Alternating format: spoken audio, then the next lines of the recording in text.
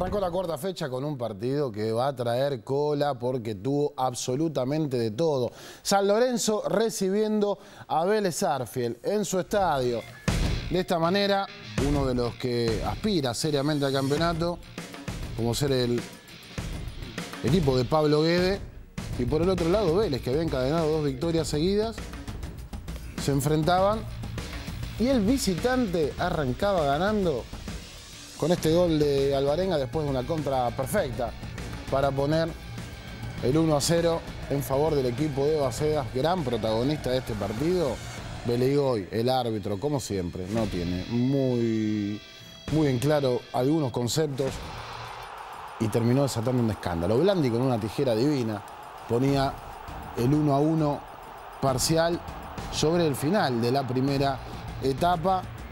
Después Acá llega una polémica cuando ya Vélez estaba con uno menos por la expulsión de Cufré y encima Cubero se vuelve loco después de lo que cobra. Mira la pelota, ¿eh?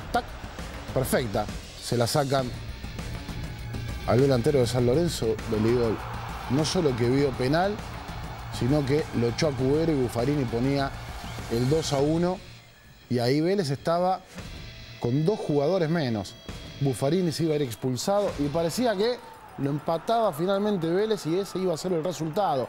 Pavone capturaba un rebote en el área, el tanque jugando solo, pero miren el reloj. 42, ¿eh? gran jugada de Blandi, Matos de arriba, no pierde nunca. Y sobre la hora, otra vez, sí, sobre la hora, San Lorenzo se quedó con los tres puntos frente a Vélez. Y esto decían los protagonistas el, mejor partido. Yo creo que, fuimos protagonistas del minuto 1 al, 90. creo que siempre tuvimos el dominio, el dominio del partido, el dominio de la pelota. Por ahí no fuimos tan punzantes, pero, pero creo que hoy, hoy hicimos un, gran partido. Y bueno, el resultado fue 3 a 2. Yo creo que podríamos haber ampliado antes, el marcador terminado antes. No creo que entramos mal. Nosotros jugamos creo que muy bien desde el minuto uno, siempre teniendo la paciencia suficiente para, para, para atacar. Sabíamos que le podíamos hacer daño eh, entre líneas y lo logramos. Entonces, bueno, yo creo que, hoy no, entramos mal. Nada que ver al partido de, Sarmiento. Gritaste el gol, el tercero.